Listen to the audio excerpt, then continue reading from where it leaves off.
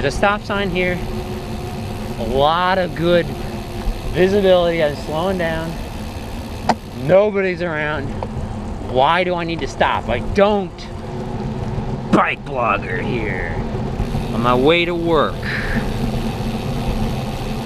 Rainy day today, or hopefully not. The rain just stopped. Well, it's sort of stopped. It's sprinkling just a little bit. Um, topic of the day. Stop as yield.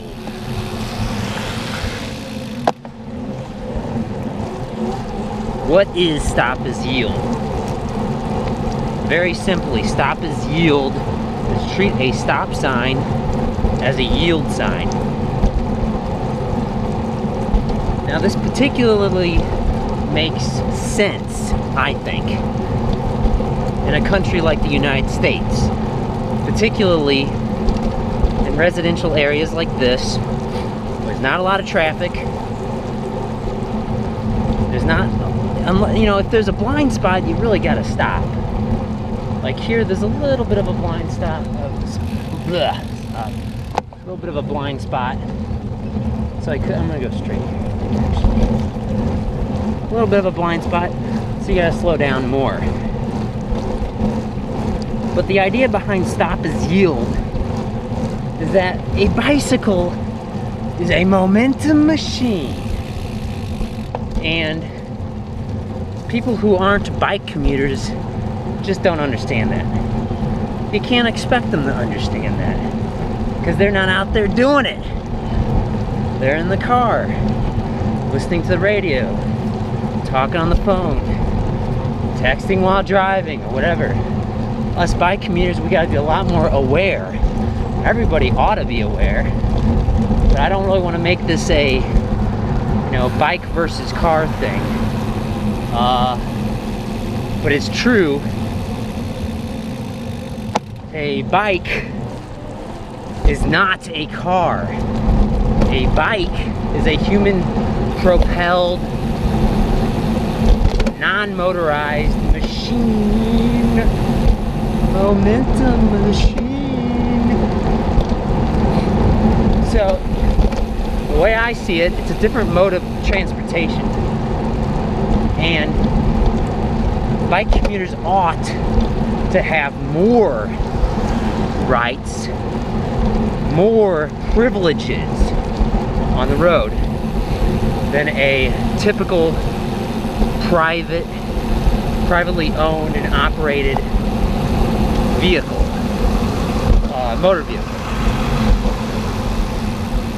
Um, because there's different types of vehicles on the road. You know, it's not just someone getting to work on their in their car. You know, there's uh, taxi cabs. Let's go straight there. There's uh, commercial trucks, and these are not cars. Trucks, commercial trucks are not cars. They have less rights than other people. By that I mean they have more rules. See, it's not even a it's not even a stop sign there. See, that almost, it seems like there almost should be a stop sign there. But I don't think there was coming from that way. But I still slowed down. You know, bike commuting is both an art and a skill. And stop as yield, I think, is sensible, it's reasonable. It encourages cyclists to stay off of the really busy roads with all the distracted drivers. But don't get me wrong, you gotta learn how to ride with the rest of the traffic. And you are traffic, by the way, as a bike commuter. Um, but you know, I think it just makes good sense um, to treat all these stop signs, which are used obscenely in my country, especially again in residential areas, um, as traffic calming devices. Now, the same guy who invented the stop sign invented the roundabout, uh, which often are used with yield signs. And that makes so much more sense as a traffic calming device, or a speed bump, or an island of some sort, or, you know, uh, street diets, maybe. In other words, making the streets more narrow. I know a lot of people don't like that idea though. um, I'm not a devout bike uh, vehicular cyclist. You know, I don't blindly follow all the rules of the road, nor am I a strong advocate for all cycling infrastructure. And that includes like bike lanes and, uh, you know, trails and all this other stuff. I'm using a trail now. It's nice. It doesn't, it, it's part of my commute, but it doesn't get me all the way from point A to point B. I do like it, you know. It would be sort of cool, I think, to have a trail to go from my house all the way to my work without having to stop, without, uh, you know, in, engaging with, uh, encountering uh, other traffic on the road, but you got to learn how to deal with that. Now, why do people not like the idea of stop as yield? Treat stop signs as yield signs for bikes. I'm not talking about motor vehicles. I'm not talking about you know a 2,000 pound car.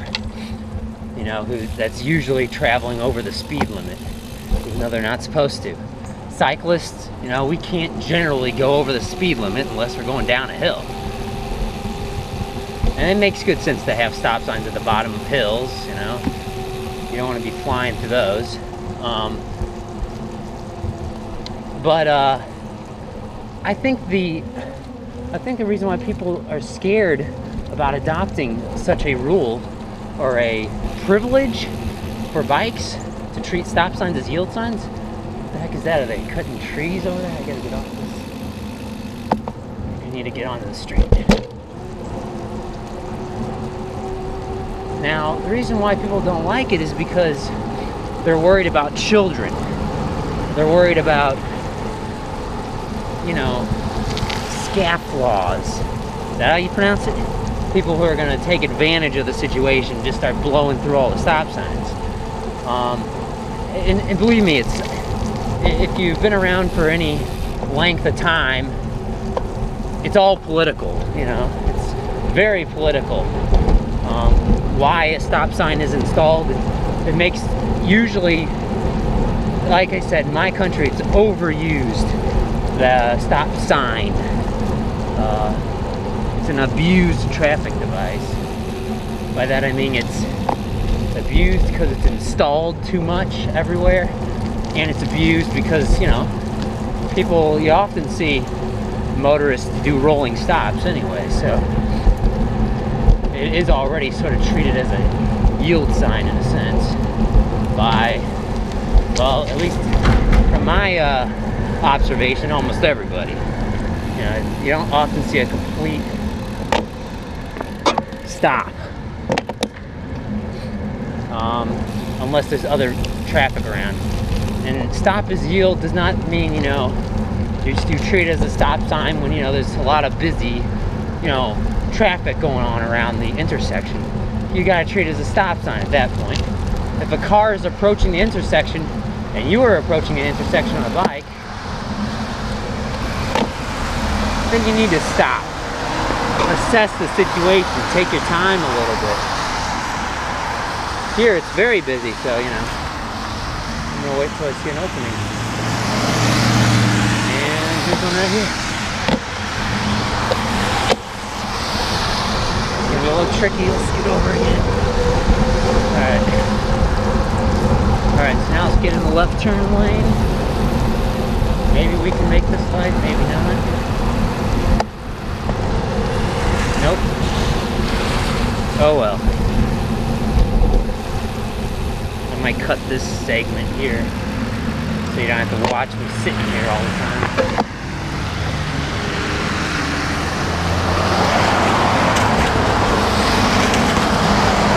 I do not see a lot of bike commuters around where I live. Uh, I am very much a minority on the road.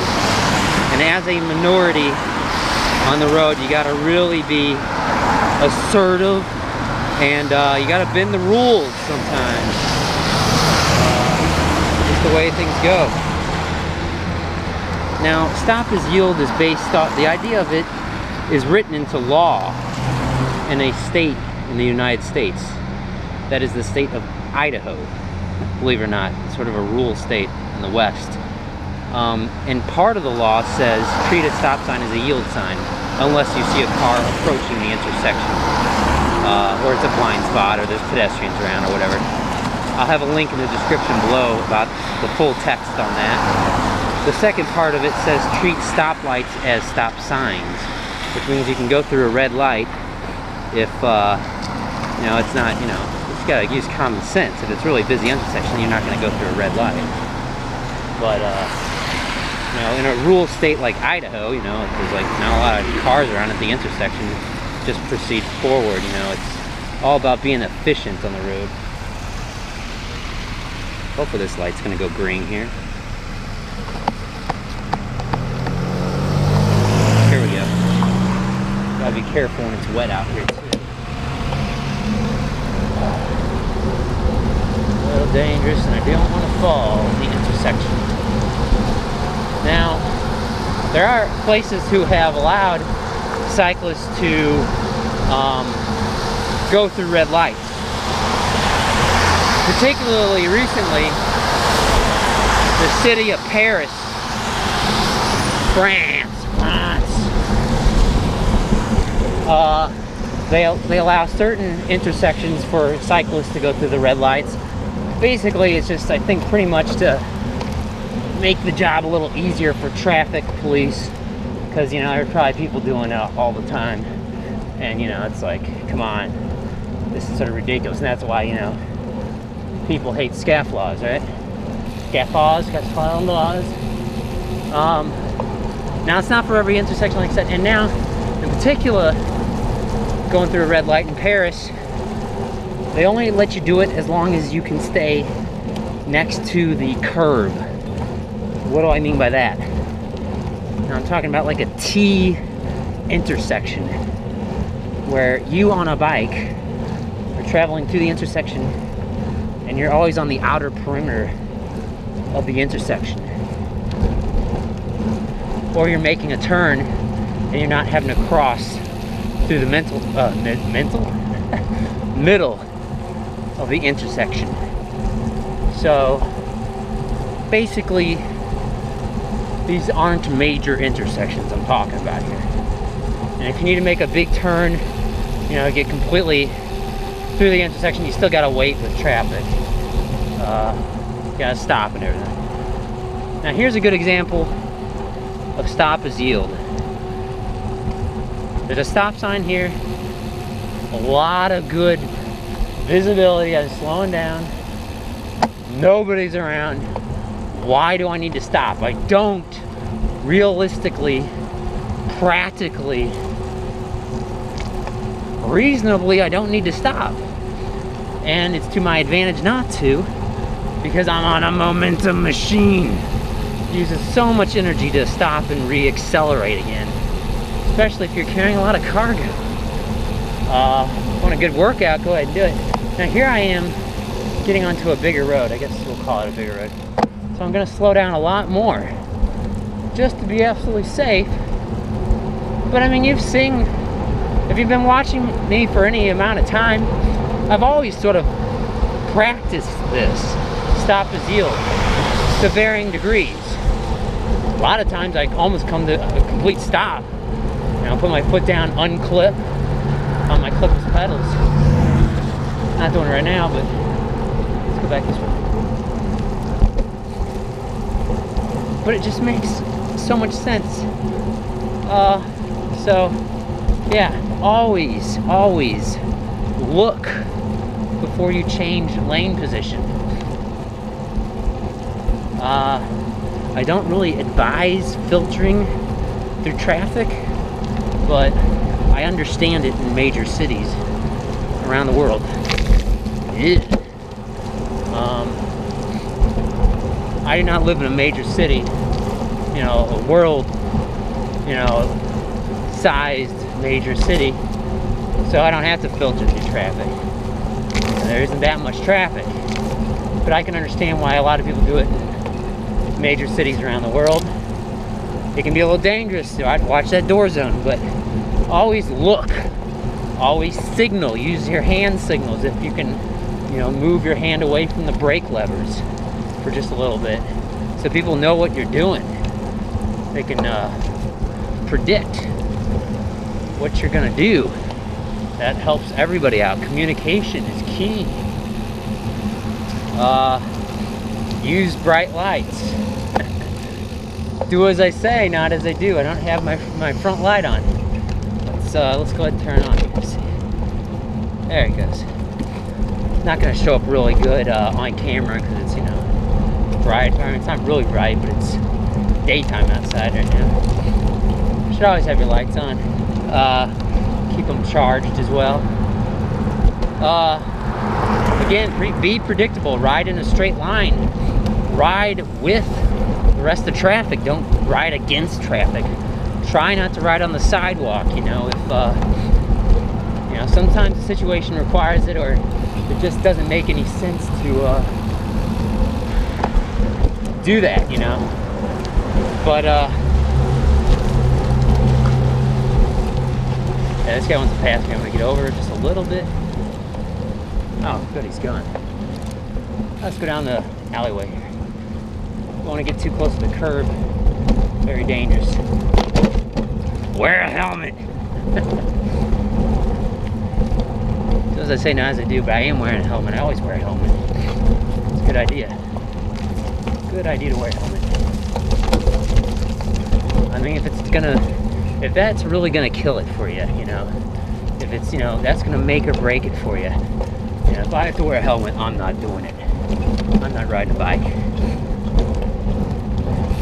fine. it's your head. Don't wear a helmet. But once you start enjoying cycling a lot, consider adding a helmet to your inventory and then consider actually using it. There are a lot of helmets out there and some don't weigh as much as others. So they're more feather light, you know, minimal, but still some protection for your soft part of your skull. Good idea. Whew. Almost to work now. I hope this was an informative video for you. Check the description below this video for more information. I am the bike vlogger. Subscribe to my channel and you'll get updates when I release new videos. Like, comment, share, subscribe. Thanks for watching. We'll see y'all next time. Whew.